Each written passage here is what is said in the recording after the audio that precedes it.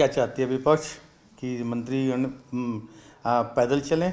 हाँ या साइकिल से चले? अगर उनका निर्देश होगा इस तरह की उनकी मंशा होगी तो उस पर भी विचार किया जाएगा। क्या मंत्रियों को पैदल चलना चाहिए? मंत्रियों को साइकिल से घूम के काम करना चाहिए? अपने दामन में झांकना चाहिए। जिनके प्रधानमंत्री दस लाख का सूट पहनते हैं उस समय इनके इनकी ज़ुबान से एक बात नहीं निकलती है। जब ये हाथी उड़ाने की परिकल्पना करते हैं और करोड़ों रुपए फूकते हैं फाइव स्टार होटलों में लाकर अपने जो इनके पूंजीपति लोग हैं, अडानी अंबानी जैसे उनके परिवार के लोगों को लाकर यहाँ ठहराते हैं और उन्हें सोने की थाली में और चांदी के थाली में उनको खाना परोसते हैं। उस समय ये नहीं इस, इस तरह की बात करते हैं। आज अरबों रुपए लुटा दिए झारखंड की जनता के खून पसीने की कमाई की और पूरा राज्य का खजाना खाली कर दिया। और आज एक गाड़ी पर सवाल उठाते हैं तो क्या मंत्रियों को पैदल चलना चाहिए या पाँच साल छः साल जो पुरानी गाड़ियाँ हैं जो जर्जर हो गई हैं पूरी तरह से? कल को कोई बात होती है, किसी तरह की दुर्घटना होती है, रास्ते में गाड़ी ब्रेक डाउन होती है तो क्या, कौन ज़िम्मेदारी लेगा लेगा इसकी? इसलिए इनके पास सीधा सीधा किसी तरह का कोई मुद्दा नहीं, एक पूरी तरह से बौखलाए हुए हैं।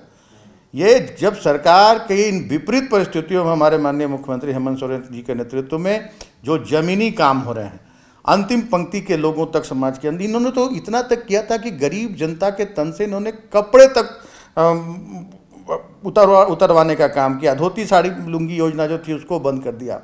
हाँ आज हम गरीबों को राशन दे रहे हैं। हमने यूनिवर्सल पेंशन की घोषणा की है, उस पर काम हो रहा है। आज हम धोती साड़ी लुंगी योजना फिर से शुरू कर रहे हैं। हम, हमारी सरकार जनता के बीच जा रही है। उनकी समस्याओं का त्वरित निष्पादन हो रहा है और जनता आज पूरी तरह से सरकार के प्रति पूरी तरह से जनता का भरोसा है और इसका ये ये इन्हें पच नहीं पा रहा, इसलिए उलझुल बातें कर कहते रहा हूँ कि अपने दामन में ये नहीं झाँकते। ये सिर्फ़ इनको किसी तरह का कोई मुद्दा नहीं मिल रहा। है ऐसे मुद्दों पर तो बात करना ही लगता है कि बहुत बड़ी एक तरह से एक विपक्ष को इस तरह की बातें करना ही बचकाना लगता है।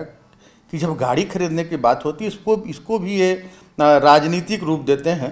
तो ये कहा जाएगा कि पूरी तरह से इनके पास मुद्दा विहीन ये हो गए हैं। हमारे माननीय मुख्यमंत्री इस तरह के काम कर रहे हैं, इस तरह की ज़मीनी काम कर रहे हैं, जनहित के काम कर रहे हैं, जो आज तक इन्हें मौका मिला और ये नहीं कर पाए। इसी का कारण है कि ये बेवजह की बातों को तुल देते हैं और राज्य की जनता को दिग्भ्रमित करने का काम करते हैं। share, and subscribe. www.thefollowup.in